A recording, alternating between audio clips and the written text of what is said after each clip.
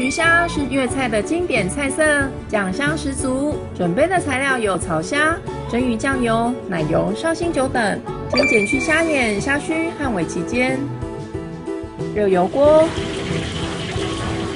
把虾炸酥后捞起。